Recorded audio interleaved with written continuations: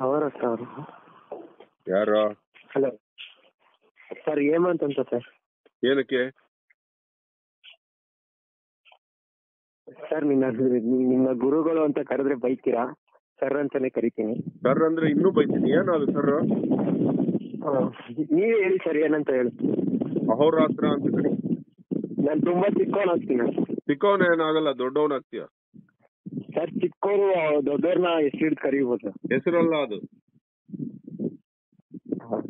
ಅಪ್ಪನ ಅಪ್ಪ ಅನ್ನಲ್ಲೇನೋ ಅಮ್ಮನ ಅಮ್ಮ ಅನ್ನಲ್ಲೇನೋ ಹಂಗೆ ಅವ್ರ ಹತ್ರನೋ ಅವ್ರ ಹತ್ರ ಅನ್ನು ಆಯ್ತು ಸರ್. ಹ್ಮ್. ಸರ್ ತಿಂಡಿ ಆಯ್ತು ಸರ್? ಬೇಗ ಹೇಳ. ಏನ್ ಹೇಳ್ಬೇಕು ಅಂತ ಗೊತ್ತಾಗ್ತಾ ಇಲ್ಲ ತುಂಬಾ ಖುಷಿ ಆಗ್ತಿದೆ. ಯಾಕೆ ಮಾಡ್ತೀರ ಏನ್ ಕೆಲ್ಸ ಇಲ್ದಿದ್ರೆ ಯಾಕೆ ಫೋನ್ ಮಾಡ್ತೀರಿ? ಕೆಲ್ಸ ಕೆಲ್ಸ ಇಲ್ಲ ಅಂತಲ್ಲ ಸರ್ ನಿಮ್ ಹತ್ರ ಮಾತಾಡ್ಬೇಕು. ಅದ್ ತುಂಬಾ ದಿನದಿಂದ ಟ್ರೈ ಮಾತಾಡಕ್ಕಿದೆ. ಮಾ- ಝೂ ಮಾ- ಅಲ್ಲಿ ಹೋಗಿ ಕಾಡು ಪ್ರಾಣಿ ನೋಡ್ದಂಗ ಆಯ್ತು ನಿಮ್ ಕತೆ. ಝೂ ಅಲ್ಲಿ ಹೋಗಿ ಆ ಪ್ರಾಣಿಗೆ ಎಷ್ಟು ಹಿಂಸೆ ಆಗತ್ತೆ? ಬಿಡ್ರ. ನೀವು ನೋಡೋ ಹುಚ್ಚಿಗೆ ಆ ಪ್ರಾಣಿಗೆ ಹಾಕೋ ಹಿಂಸೆ? ಆತರ ಅಲ್ಲ ಸರ್ ಅಂದ್ರೆ ನೀವು ತಿಳ್ಕೊಂಡಿರೋರು ಯಾರು ಹೇಳಿದ್ದು? ಯಾರ ಈ ಪುಕಾರ್ ಮಾಡಿದ್ದಾರೆ? ಏನೋ ತಿಳಿದಿಲ್ವೋ ಇವನಿಗೆ? ನಿನಗೆ ತಿಳಿದಿರುವಷ್ಟು ತಿಳಿದಿಲ್ಲ ಬಂಗಾರು. ಇಡೋ ಎಲ್ಲಾ ಎಲ್ಲಾ ತಿಳ್ಕೊಂಡಿರೋರು ಏನು ತಿಳ್ಕೊಂಡಿಲ್ಲ ಅಂತ ಇರ್ತಾರಲ್ಲ ಅವರೇ ಎಲ್ಲಾ ತಿಳ್ಕೊಂಡಿರ್ತಾರೆ. ಅಯ್ಯೋ ಭಗವಾನ್ ನೋಡು ಎಷ್ಟ್ ಚೆನ್ನಾಗಿ ತಿಳ್ಕೊಂಡಿದ್ಯಾ ನೀನು ಕತ್ತೆ? ಎಲ್ಲ ಅಲ್ಪ ಸ್ವಲ್ಪ ನಿಮ್ ನಿಮ್ ವಿಡಿಯೋಗಳು ನೋಡಿ ನಿಮ್ಮಿಂದ ನಿಮ್ ಈಗ ಏಕಲವ್ಯ ದ್ರೋಣಾಚಾರ್ಯನ ಹೆಂಗೆ ಇದ್ ಮಾಡ್ಕೊಂಡಿದ್ರು ಆತರ ಸರ್. ನಿಮ್ ನಿಮ್ ಡೈರೆಕ್ಟ್ ಆಗಿ ನಿಮ್ ಹತ್ರ ಕೇಳದೆ ಇದ್ರು ನಿಮ್ ವಿಡಿಯೋಗಳು ನೋಡಿ ನೀವ್ ಮಾತಾಡೋದು ನೋಡಿ. ಏನಂದ್ರೆ ನೀನ್ ನನ್ನ ಅದ್ ಅನ್ಬೇಕು. ಹಾ ಸರ್. ಕತ್ತೆ. ನಾನ್ ಕತ್ತೆ ಸರ್. ಇಲ್ಲ ನನ್ನ ಕತ್ತೆ ಅನ್ನೋ ಇಲ್ಲ ಸರ್. ನನ್ಗೆ ಇಷ್ಟ ಹೇಳಿದ್ರು ಕೇಳಿದ್ರು ಹೇಳಲ್ಲ. ಈಕ್ವಲ್ ಆಗಿರೋ ಹಿಂದೆ ಇರೋ ತಲೆ ಬಗ್ಸಿ ನಡೆಯೋ ಮಕ್ಕಳು ಬೇಡವೋ ನನಗೆ?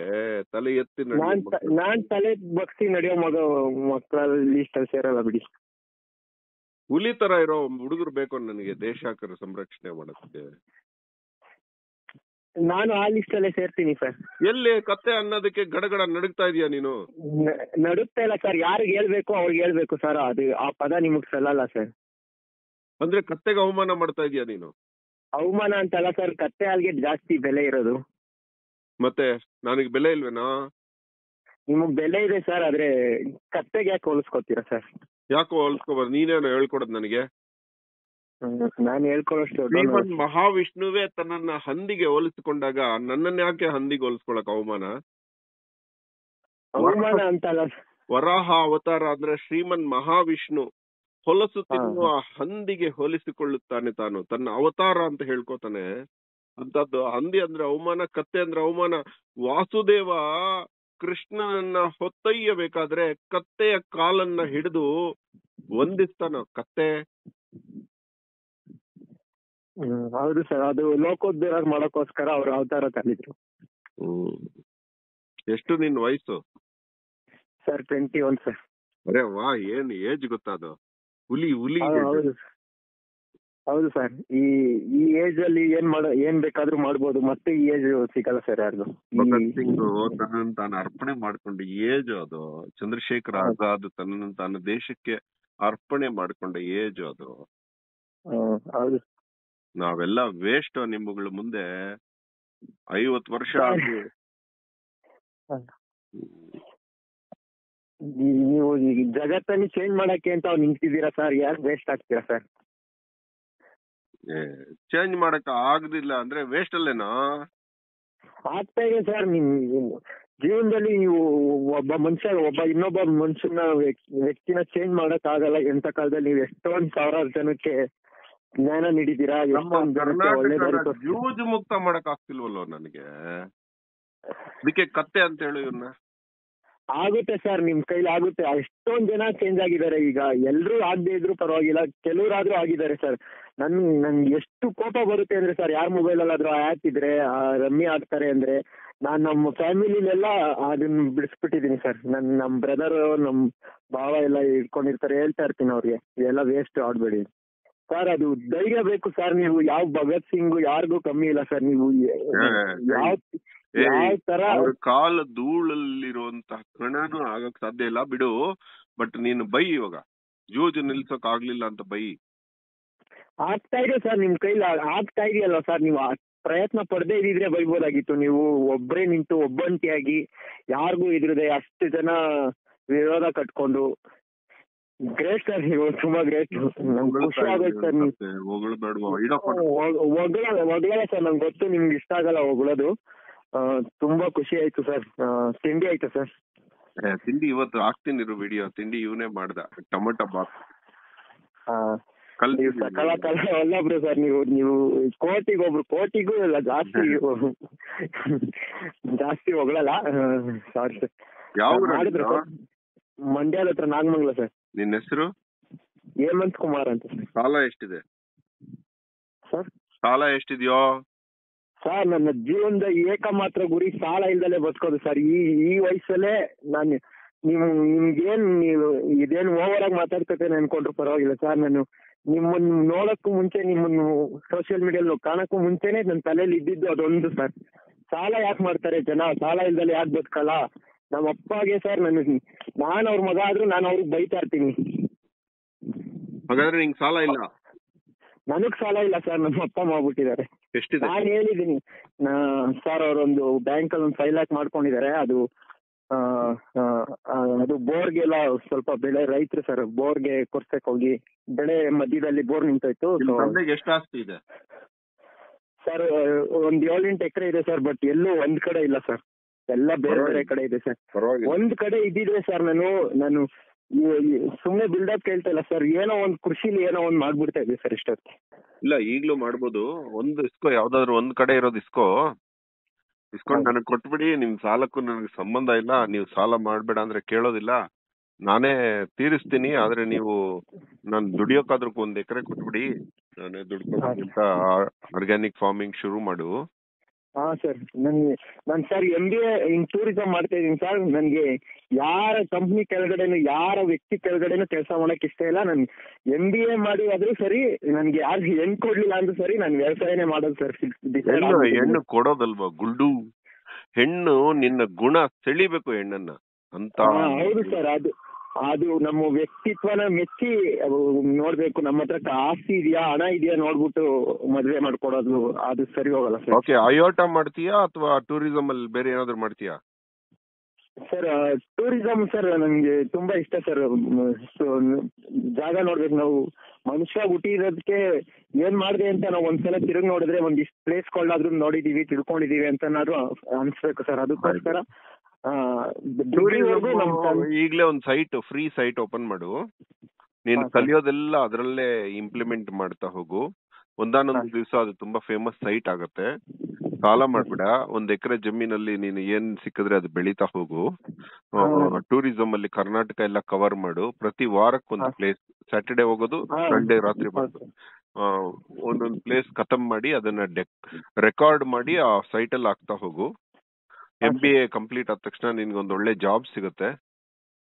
ಆ ಜಾಬ್ ಅಂದ್ರೆ ಜಾಬ್ ಮಾಡಷ್ಟು ನನ್ಗೆ ನಾಲೆಡ್ಜ್ ಇಲ್ಲ ಸರ್ ನನ್ಗೆ ಅಗ್ರಿಕಲ್ಚರ್ ಅಲ್ಲಿ ತುಂಬಾ ಇಂಟ್ರೆಸ್ಟ್ ಇತ್ತು ಗೊತ್ತು. ನನಗೆ ಆದ್ರೆ. ಜಾಬ್ ಸುಮ್ನೆ ಎಕ್ಸ್ಪೀರಿಯನ್ಸ್ಗೋಸ್ಕರ ಇಪ್ಪತ್ತೊಂದು ತಿಂಗಳು ಮಾಡು. ಅದನ್ನ ಮಾಡಿ ಅದರಲ್ಲಿ ನೀನು ಹಿಡಿತ ತಗೋ. ಸ್ವಲ್ಪ ಸೇವಿಂಗ್ಸ್ ಮಾಡ್ಕೋ. ಅದನ್ನ ತಂದು ನೀನು ಟ್ರಾವೆಲಿಂಗ್ಗೆ ಯೂಸ್ ಮಾಡ್ಬೇಕು. ಕೈಲಾಗದಂಗೆ ಇರಬಾರ್ದು. ಹುಡುಗರನ್ನ ಜೊತೆಗೆ ಸೇರಿಸ್ಕೊಂಡು ಟೂರ್ಗೆ ಹೋಗಕ್ ಶುರು ಮಾಡು. ಬೆಟ್ಟ ಬೆಟ್ಟ. ಹತ್ತು ಕರ್ನಾಟಕ ಎಲ್ಲ. ಮೂಲೆ ಮೂಲೆ ಸುತ್ತು. ತುಂಬಾ ಸರ್ ನಮ್ಮ ಕರ್ನಾಟಕದಲ್ಲಿ ಇರೋಷ್ಟು ಎಲ್ಲೂ ಇಲ್ಲ ಸರ್. ನಮ್ ಜನ ನಮ್ಮನ್ ಇಲ್ಲಿ ಬಿಟ್ಟು ಫಾರಿನ್ ಹೋಗೋ ಆಸೆ ಪಡ್ತಾರೆ ಬೇರೆ ಸ್ಟೇಟ್ ಹೋಗೋ ಆಸೆ ಪಡ್ತಾರೆ. ಇಲ್ಲಿ ಒಂದೊಂದ್ ಹಾ ಸರ್. ನೀನು ಗುಂಪುಗಳು ಕಟ್ಟು. ಟ್ರಕ್ಕಿಂಗ್ ಗುಂಪುಗಳು ಕಟ್ಟು. ಅದರಲ್ಲಿ ನೀನು ಚಾರ್ಜ್ ಮಾಡು. ಒಬ್ರಿಗೆ ಹಾ. ಇಷ್ಟು ಅಂತ. ನಿನಗೆ ನಾಲೆಡ್ಜ್ ಇದೆ. ನಾಲೆಡ್ಜ್ ಅಲ್ಲಿ ಚಾರ್ಜ್ ಮಾಡಿ ಅವ್ರಿಗೆ ಸೇಫ್ ಆಗಿ ಕರ್ಕೊಂಡೋಗಿ ಕರ್ಕೊಂಡ್ ಬರೋದು ಮೇಂಟೈನ್ ಮಾಡು ಅದರಿಂದ ಸ್ವಲ್ಪ ಇನ್ಕಮ್ ಬರುತ್ತೆ ಅದ್ರಲ್ಲಿ ಅಗ್ರಿಕಲ್ಚರ್ ಲಾಕ್ ಯಾಕಂದ್ರೆ ಅಗ್ರಿಕಲ್ಚರ್ ಅಲ್ಲಿ ನಿನ್ಗೇನು ಸಿಗೋದಿಲ್ಲ. ಆ, ಇಲ್ಲದೆ ಬದುಕಬೇಕು ಮರ್ಯಾದೆಯಿಂದ ಬದುಕಬೇಕು. ನೀನು ಓದ್ ವೇಸ್ಟ್ ಆಗಲ್ಲ ಎಂ ಬಿ ಎ ಕಂಪ್ಲೀಟ್ ಆಗುತ್ತೆ. ನೀನು ಕೋಟ್ಯಾಧಿಪತಿ ಆಗದಿದ್ರೆ ಅವಾಗ ಕೇಳೋ. ಮತ್ತೆ ಎದುರು ಮಾತಾಡಬೇಡ ನೀನ್ ಏನ್ ಹೇಳ್ತಾ ಇದೀಯ ಅಂತ ಗೊತ್ತು ಇವನಿಗೆ. ನಿನಗೆ ಹಣದಲ್ಲಿ ಆಸೆ ಇಲ್ಲ ಅಂತ ತಲೆ ಹರಟೆ ಎಲ್ಲ ಮಾಡ್ಬಿಡ ನೀನು. ಹಣ ಆಸೆ. ಹಣದಲ್ಲಿ ಆಸೆ ಇಲ್ಲ ಅದ ತುಂಬಾ ಆಸೆ ಇದೆ ಸರ್. ಹಣ ಇದ್ರೇನೆ ಜಗತ್ತಲ್ಲಿ ಇವಾಗ ಎಲ್ಲ ಬದುಕ್ಬೇಕು. ಮತ್ತೆ ಅದೇ ಮಾತಾಡ್ತೀಯಲ್ಲ? ಹೇಳಿದ್ದೆ ಹೇಳಬಾರ್ದು. ನೀನ್ ಕೋಟ್ಯಾಧಿಪತಿ ಅದಕ್ಕೆ ಆಗ್ತೀಯ? ನೀನು ಜಗತ್ತಿಗೆ ಒಂದು ಮಾಡೆಲ್ ಆಗ್ತೀಯಾ? ನಿಂದೇ ಜೀವನ ಒಂದು ಕತೆ ಆಗತ್ತೆ. ನೀನು ತುಂಬಾ ಒಳ್ಳೆ ಕೆಲಸ ಮಾಡ್ತೀಯಾ? ಟೂರಿಸಂ ತಲೆ ಎತ್ತಿ ನೋಡೋ ಹಂಗ್ ಮಾಡ್ತೀಯ ಕರ್ನಾಟಕನ? ಸಾರ್ಥಕ ಆಯ್ತು ಸರ್ ಇಷ್ಟು ಹೇಳಿದ್ರಲ್ಲ ಸರ್ ಸಾಕು ಸರ್ ಸರ್ ನನ್ಗೆ ಸರ್ ಅದು ಒಂದ್ ಒಂದ್ಸಲ ನೀವು ಹೇಳಿದ್ರಿ ಸರ್ ಸಾಲ ಜೊತೆಗೆ ಮ್ಯೂಚುವಲ್ ಫಂಡ್ ಶೇರ್ ಮಾರ್ಕೆಟ್ ಏನು ಬೇಡ ಅಂತ. ಅದೇಂಟಿ ಅಂತ ತಿಳ್ಕೊಬೇಕು ಸರ್ ನನ್ ಶೇರ್ ಮಾರ್ಕೆಟ್ ಅಲ್ಲಿ ಕಲಿಯಕ್ ಶುರು ಮಾಡಿದ್ದೆ ಈಗ ತಾನೇ ಒಂದ್ ಆರು ತಿಂಗಳಿಂದ. ಬಿಟ್ಬಿಡು ಬಂಗಾರು. ಅದರ್ ಪೀಪಲ್ಸ್ ಮನಿ ಅಂತ. ಇವಾಗ ಇನ್ನೊಬ್ಬರ ಬೆವರ ಜೊತೆಗೆ ನಾವು. ನೀರು ಬೆರೆಸಿ ಹಾಲಲ್ಲಿ ನೀರು ಬೆರೆಸುವ ವ್ಯವಹಾರ ಅದು. ಇನ್ನೊಬ್ಬರ ಬೆವರ ಜೊತೆಗೆ ನಾವು ನೀರ್ ಬೆರೆಸಿ ಮಾರೋದು ಅದು. ಅದು ಇನ್ನೊಬ್ಬರ ಶ್ರಮದಿಂದ ನಾವು ದುಡ್ಡು ಮಾಡೋದು ಕೂತ್ಕೊಂಡು ಅಸಹ್ಯ ಅದು ನಾವು ಮಾಡಿರೋ ದುಡ್ಡಿಗೆ ಮರಿ ಮಾಡೋದದು ನಾವು ಕಷ್ಟಪಟ್ಟು ದುಡ್ದಿರೋ ದುಡ್ಡು ಅದು ಗಂಡು ಹಣ ಅದು. ಅದು ಹೆಣ್ಣು ಹಣ ಅಲ್ಲ. ಮರಿ ಮಾಡೋದಕ್ಕೆ. ಮತ್ತೆ ಅದರಿಂದ ಮಾಡೋದು ಇಲ್ಲ. ಜೀವನ ಮರಿ ಕೂಡ ಆಗೋದಿಲ್ಲ. ಅದು ಸಾಫ್ಟ್ವೇರ್ ಹಂಗ ಆಗಿರುತ್ತೆ ಅದು ತುಂಬಾ ಅದಕ್ಕೆ ಕೂತ್ಕೊಂಡ್ಬಿಡ್ತಾರೆ ಜನ. ದುಡಿದ್ರು ಕೂಡ ಇನ್ನೊಂದ್ರಲ್ಲಿ ಬೆಳಿತಾರೆ. ಮತ್ತೆ ಶೇರ್ ಮಾರ್ಕೆಟ್ನ ವೇದಗಳು ಕೂಡ ಒಪ್ಪೋದಿಲ್ಲ. ಅದರ್ ಪೀಪಲ್ಸ್ ಮನಿ ಅಂದ್ರೆ ಓ ಪಿ ಎಂ ಅಂತ. ಅಫೀಮ್ ಇದ್ದಂಗದು ಅಫೀಮ್ ಅಂದ್ರೆ. ಮಾದಕ ದ್ರವ್ಯ. ಅದು ಸ್ಪೆಕ್ಯುಲೇಷನ್ಸ್ ಇದೆಲ್ಲ. ಯಾರೋ ದುಡ್ಡಲ್ಲಿ ನಾವು ಆಟ ಆಡೋದು ಜೂಜಿನ ತರನೇ ಆಗತ್ತದು. ಮ್ಯೂಚುವಲ್ ಫಂಡ್ ಏನು ಅಂದ್ರೆ ಅದೇ ವ್ಯಾಪಾರನ ಇನ್ನೊಬ್ಬರನ್ನ ನಂಬಿ ಮಾಡೋದು.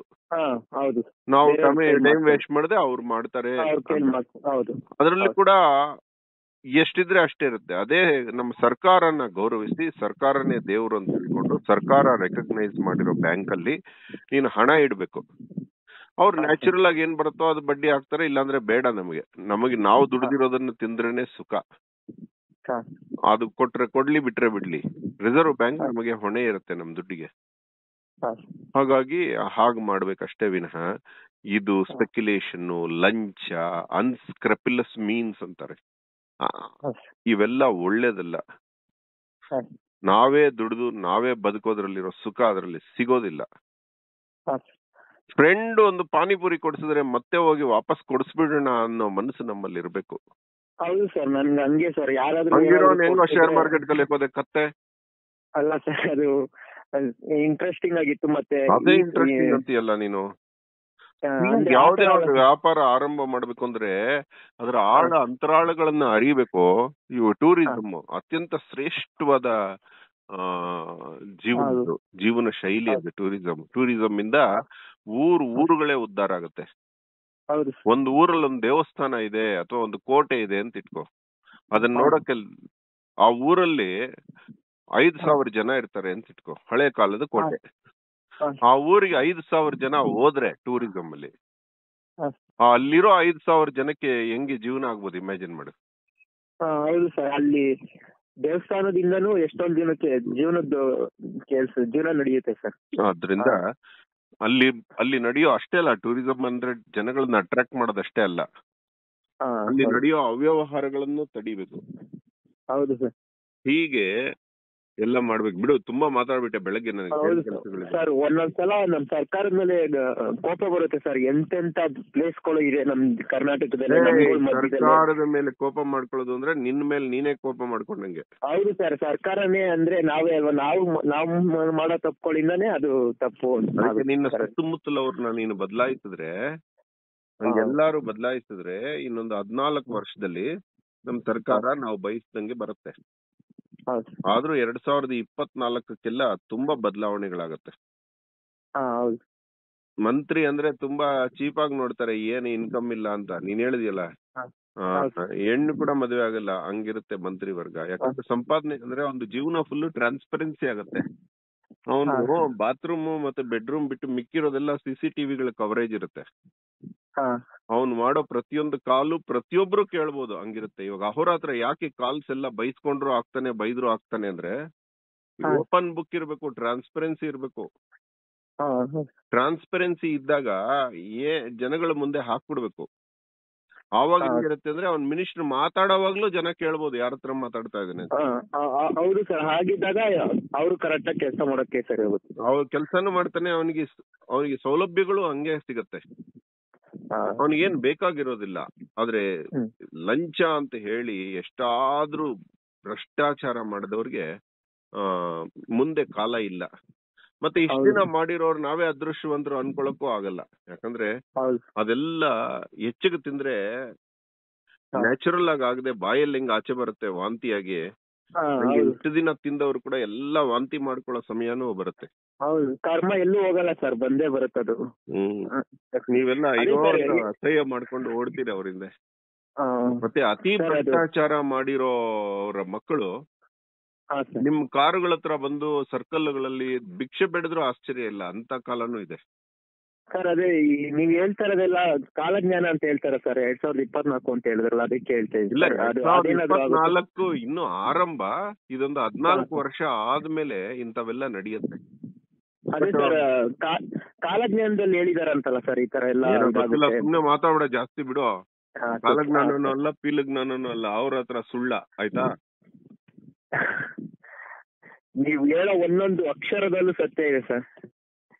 ಇರ್ಲಿ ಬಿಡ. ನಾನು ಕಣ್ಣು ಕಣ್ ಮುಚ್ಕೊಂಡು ನೀವ್ ಏನಾದ್ರು ಮಾ- ಮಾಡು ಅಂದ್ರೆ ಮಾಡ್ಬಿಡ್ತೀನಿ ಸರ್. ನಿಮ್ಗೆ ಒಂದೇ ಒಂದ್ ಸಲನಾದ್ರೂ ನನ್ನ ಜೀವನದಲ್ಲಿ ನಿಮ್ಮನ್ನ ನೋಡ್ಬೇಕು ನೀವು ಎಲ್ ಸಿಕ್ ಯಾವಾಗ ಕರ್ನಾಟಕಕ್ಕೆ ಬರ್ತೀರಾ ಅಂತ ಕಾಯ್ದೆ ಹಂಗೆಲ್ಲ ಯಾವತ್ತು ಯಾರ ಮೇಲೆ ಭಾವನೆಗಳನ್ನ ಬೆಳೆಸ್ಕೋಬಾರ್ದು. ತಪ್ಪಾಗತ್ತೆ. ಇಲ್ಲ ನನ್ ಯಾರ ಮೇಲೂ ಹಂಗಿಲ್ಲ ಸರ್. ನನ್ಗೆ ಯಾರು ಅಂತ ಫೇವ್ರೆಟ್ ಹೀರೋ ಯಾರು ಆತರ ನನ್ ಯಾರು ಅಭಿಮಾನಿಗಳು ಅಲ್ಲ ಅಭಿಮಾನಿಗಳು ಅಲ್ಲ ಯಾರು. ಅಂತ ಹೇಳ್ಕೊಡಕ್ ಅವ್ರ ಹತ್ರ ಬಂದಿಯಾನೆ ನೀವು ದೇವ್ರನ್ನ ನಂಬಿ. ನಿರ್ಗುಣ. ಅವ್ರ ಅವ್ರ ಹತ್ರ ಎದುರಿಗೆ ಬಂದ್ರು ನೀನ್ ಯಾರೋ ನೀನು ಅನ್ಬೇಕು ನೀವು. ಓಕೆ ಇಡ್ಲಾ? ಸರ್ ಸರ್ ಸರ್ ಒಂದೇ ಒಂದು ನಂಗೆ ತುಂಬಾ ಹೆಲ್ತ್ ಇಶ್ಯೂಸ್ ಸರ್ ಅದು ತಲೆನೋವು ಸರ್ ಒಂದು ಹನ್ನೆರಡು ಹದಿಮೂರು ವರ್ಷದಿಂದ ಸರ್ ಅದೇನು ಸರ್ ಅದು ಎಲ್ಲಿ ತೋರ್ಸಿದ್ರು ಆಗ್ತಾ ಯಾಕ್ ಯಾಕೆ ಆತರ ಸರ್ ನಿನಗೆ ಡೈಜೆಷನ್ ಸಿಸ್ಟಮ್ ಡಿಸ್ಟರ್ಬ್ ಇದೆ. ಡೈಜೆಷನ್ ಸಿಸ್ಟಮ್ ಇಂದ ತಲೆನೋವು ಬರ್ತಾ ಇದೆ. ನೀನ್ ಶೆಡ್ಯೂಲ್ಡ್ ಆಗಿ ತಿನ್ನೋದಿಲ್ಲ ಶೆಡ್ಯೂಲ್ಡ್ ಆಗಿ ಮಲಗೋದಿಲ್ಲ. ತುಂಬಾ ಓದಿಗೆ ಅಡಿಕ್ಟ್ ಆಗಿದ್ಯಾ? ಜ್ಞಾನಕ್ಕೆ ತುಂಬಾ ಹಚ್- ಹಚ್ಕೊಂಡಿದ್ಯಾ? ಅವಾಗ ಅದು ಏರುಪೇರಾಗಿ ನರಮಂಡಲದ ತೊಂದರೆಗಳಾಗ್ತಾ ಇದೆ. ನೀನು ದಿನಕ್ಕೆ ಇಪ್ಪತ್ನಾಲ್ಕು ಸೂರ್ ಹನ್ನೆರಡು ಸೂರ್ಯ ನಮಸ್ಕಾರ ಹಾಕ್ಬಿಟ್ಟು ಆ, ಶುಂಠಿ ಪೌಡರ್ ಇದೆಯಲ್ಲ? ಅಥವಾ ಶುಂಠಿನ ಕಾಯಿಸಿ ನೀರ್ ಕುಡಿ ಅಥವಾ ಶುಂಠಿ ಪೌಡರ್ ಊಟ ಆದ ತಕ್ಷಣ ಸ್ವಲ್ಪ ಬಾಯಿಗೆ ಹಾಕು. ಮತ್ತೆ ಇದು ಅಸಿಡಿಟಿ ಜಾಸ್ತಿ ಇದೆ ನಿನಗೆ. ಅಸಿಡಿಟಿ ಅಂದ್ರೆ ಈ ಅಪಚನ ಅಪಚನ ಇದೆ. ಅದಕ್ಕೆ ನೀನು ಆ, ಅದಕ್ಕೂ ಅಷ್ಟೇ ಸ್ವಲ್ಪ ಆಹಾರ ಸೇವನೆಯಲ್ಲಿ ಸ್ವಲ್ಪ ವ್ಯತ್ಯಾಸ ಆಗ್ಬ ಆಗದಂಗ್ ನೋಡ್ಕೋ. ಕೋಪ ಬರದಂಗ್ ನೋಡ್ಕೋ. ಮಾತ್ ಮಾತ್ಗೂ ಎಲ್ಲ ತುಂಬಾ ಕೋಪ. ಬರುತ್ತೆ ಸರ್. ನಿನ್ನೆ ರಾತ್ರಿನೂ ನಮ್ಮ ತಂದೆ ಜೊತೆ ಜಗಳ ಮಾಡಿದೆ ಅವರು. ಏಯ್ ಅದು- ಏನಾದ್ರೂ. ಸಾಲ ಮಾಡ್ಬಿಟ್ಟು ಆಸ್ತಿ ಮಾಡೋಣ ಅಂತ ಹೇಳ್ತಾರೆ ಸರ್. ನಮ್ಗೆ ಇಷ್ಟ ಆಗಲ್ಲ ಸರ್. ನಿಮ್ ಕೈಲಿದ್ರೆ ನಮ್ ಕೈಲಿದ್ರೆ ನಾವ್ ಮಾಡ್ಬೇಕು ಸರ್. ಇಲ್ಲಾಂದ್ರೆ ನಾವು ಅಂತೇಳಿ. ಸಹಿಸ್ಕೋ ನಾವ್ ಮಾಡ್ತೀನಿ ಇವಾಗ ಇರೋದನ್ನ ನೋಡ್ಕೊ ಅಂತೇಳು. ಸಾಲ ಕೋಪ ಮಾಡ್ಕೋಬೇಡ. ನಿನಗೆ ಯಾವ ಅಧಿಕಾರನೂ ಇಲ್ಲ ಅವ್ರ ಮೇಲೆ ಕೋಪ ಮಾಡ್ಕೊಳಕ್ಕೆ. ಹೌದು ಸರ್. ಅದು ಇಲ್ಲ ಸರ್. ಅದು ಅದು ಅನ್ಸುತ್ತೆ ಸರ್ ನನ್ಗೆ. ಹಂಗ ಆದ್ಮೇಲೆ ಅನ್ಸುತ್ತೆ ಸರ್. ಅವ್ರ ಹತ್ರ ಹೋಗಿ- ಇವಾಗ ಸಾರಿ ಹೇಳು. ಸಾರಿ. ಹೇಳ್ಬಿಟ್ಟು ತಪ್ಪಾಯ್ತು ತಪ್ಪಾಯ್ತು. ನಿನ್ ತಂಟೆಗೆ ಬರಲ್ಲ ಆದ್ರೆ ಸಾಲ ಒಂದು ಮಾಡ್ಬೇಡ. ನೀನ್ ಕಾಲ್ ಹಿಡಿತೀನಿ. ನನ್ಗೆ ಆಸ್ತಿನೂ ಕೊಡ್ಬೇಡ. ನೀನೆಲ್ಲ. ನೀನೇ ಇಟ್ಕೋ. ನನ್ಗೆ ಆಸ್ತಿನೂ ಬೇಡ. ನಿನ್ ಆಸ್ತಿಲಿ ಒಂದು ಪೈಸಾ ಬೇಡಪ್ಪ. ನಾನ್ ಕಷ್ಟ ಪಟ್ಕೊಂಡು ದುಡ್ಕೊಂಡ್ ಮೇಲ್ ಬರ್ತೀನಿ ಅಂತ ಹೇಳು. ಓಕೆ? ಹಾ, ಸರ್ ಅದನ್ನ ಅಗ್ರಿಕಲ್ಚರ್ ಅಲ್ಲಿ ಬೇಡ ಅಂತೀರಾ ಸರ್? ನಾನು ಶ್ರೀಗಂಧ ಮಾಡ್ಬೇಕು ಅಂತ ಆಸೆ ಇತ್ತು ತುಂಬಾ. ಏನ್ ಬೇಕಾದ್ರೂ ಮಾಡ ಗುಳ್ಳು ಇಲ್ಲ ಫೋನ್ ಇಡ ಫೋನ್ ನಂಗೆ ತುಂಬಾ ಟೈಮ್ ಸರ್, ಈ ಜಗತ್ತಲ್ಲಿ ಎಲ್ಲ ರೋಗಕ್ಕೂ ಔಷಧಿ ಇದೆ ನನ್ಗೆ ಮೈಗ್ರೇನ್ ಅಂತ ಹೇಳ್ತಾರೆ ಡಾಕ್ಟರ್ಗಳು ಬಟ್ ಯಾಕೆ ಸರ್ ಮೈಗ್ರೇನ್ ಔಷಧಿ ಇಲ್ಲ? ಏ ಮೈಗ್ರೇನ್ ಎಲ್ಲ ನಿಂದು. ಮೈಗ್ರೇನ್ ಒಂದ್ ಸೈಡ್ ಇರೋದ್ರಿಂದ ಅವ್ರ ಹಂಗೆ ಹೇಳ್ತಾರೆ. ಯಾವಾಗ ಅವರಿಗೆ ಕ್ಯೂರ್ ಮಾಡಕ್ ಆಗಲ್ವ ಅವಾಗ ಮೈಗ್ರೇನ್ ಅಂದ್ಬಿಡ್ತಾರೆ. ಆದ್ರೆ ಮೈಗ್ರಾನ್ ಮೈಗ್ರಾನಿಲ್ ಅಂತ ಅಲೋಪತಿಲ್ ಅದಕ್ಕೆ ಮೆಡಿಸಿನ್ ಇದೆ. ಏನಿಲ್ಲ ನೀನು ಆಲೋಚನೆ ಬಿಟ್ಟು ಎಂಟು ಗಂಟೆ ನಿದ್ದೆ ಮಾಡಿ ಕರೆಕ್ಟ್ ಟೈಮ್ಗೆ ತಿಂಡಿ ತಿನ್ನು ಸರಿ ಹೋಗ್ಬಿಡ್ತೀಯ. ಹಾ ಸರ್. ಅದೇ ಯೋಚನೆ ಜಾಸ್ತಿ ಸರ್ ನನ್ಗೆ ಹೆಂಗ್ ಏನು ಅಷ್ಟಕ್ಕೂ ನಿನ್ಗೆ ಒಂದ್ ಕೆಲಸ ಮಾಡು. B C twelve. ಅಂತ ಒಂದು ಮೆಡಿಸಿನ್. ಸಿಗುತ್ತೆ. ಹೋಮಿಯೋಪತಿಲಿ ಹೋಮಿಯೋಪತಿ. ಹಾ ಅದನ್ನ ಬಯೋಕೆಮಿಕ್ ಅಂತಾರೆ ಅದು ಭಸ್ಮ ಅಷ್ಟೇ. ದಿನಕ್ಕೆ ನಾಲ್ಕು ಗೋಲಿ ನಾಲ್ಕು ಬಾರಿ ಬಾಯಿಲ್ ಹಾಕು. ಅದು ನಿನಗೆ ವಾಸಿ ಮಾಡ್ಬಿಡುತ್ತೆ ತಲೆನೋವು. ಇನ್ನೊಂದು ಲಘು. ಸೂತ್ಸೇಕರ ಅಂತ ಬರುತ್ತೆ ಆಯುರ್ವೇದದಲ್ಲಿ. ಅದನ್ನ ನೀನು ಬಾಯಿಗೆ ಹಾಕೋ ಚಪ್ಪರಿಸಿ ಅಗದು ಅಗದು ತಿಂದ್ಬಿಡು. ಮೂರ್ ಮೂರ್ ಗೋಲಿ ಅಥವಾ ಎರಡೆರಡು. ಗೋಲಿ ಊಟ ಮುಂಚೆ ಸರ್ ಆ, ಸರಿ ಹೋಗ್ಬಿಡ್ತೀಯ ಓಕೆ? ಇವು ಯಾವ್ದ್ರಲ್ಲೂ ಸೈಡ್ ಎಫೆಕ್ಟ್ ಇಲ್ಲ. ಕತ್ತೆ ಇಪ್ಪತ್ತು ನಿಮಿಷ ತಗೊಂಡಿದ್ಯಾ ಕತ್ತೆ ನೀನು? ಒದ್ದಾಕ್ಬಿಟ್ಟು ಒದ್ದಾಕ್ಬಿಡ್ತೀನಿ ಸರ್ ಕರ್ನಾಟಕದಲ್ಲಿ ಯಾ- ಎಲ್- ಯಾ- ಎಲ್ಲೇ ಕಿತ್ತಡಿ ಮಾಡಿದ್ರು ಯಾವ್ದೇ ವೃಕ್ಷ ರಕ್ಷಣೆ ಮಾಡಿದ್ರು ಸರ್ ನನ್ಗೆ ಒಂದ್ಸಲ ಹೇಳಿ ಸರ್ ನನ್ಗೆ ಯಾರೇ ಕೆಲಸ. ಇದ್ರು ಬಿಟ್ಟು ಬರ್ತೀನಿ ಸರ್. ಇಡು ಫೋನು ಇಪ್ಪತ್ ನಿಮಿಷ ಆಗೋಯ್ತು. ಸರ್ ಆಯ್ತು ಸರ್ ಪರವಾಗಿಲ್ಲ ಸರ್. ಸರ್ ಕರ್ನಾಟಕಕ್ಕೆ ಬಂದಾಗ ಸರ್ ಹೇಳಿ ಸರ್ ನನ್ಗೆ ನೀವ್ ಮಾಡೋ ಎಲ್ಲಾ ಕೆಲ್ಸನೂ ಇಷ್ಟ ಸರ್ ನಂಗೆ ವೃಕ್ಷ ರಕ್ಷಾ ಹಾವುಗಳು ಕಾಪಾಡೋದು ಹೇಳ್ತೀರಲ್ಲ ಸರ್ ಒಂದೊಂದಕ್ಕೂ ಯಾವ ತರ ಲಾಜಿಕ್ ಆಗಿ ಎಕ್ಸಾಂಪಲ್ ಕೊಟ್ಟು ಪಕ್ಕಾ ಹೇಳ್ತೀರಾ ಸರ್? ಯಾರು ಇರಲ್ಲ ಸರ್ ಆ ತರ ಹೇಳೋರು. ಆಯ್ತು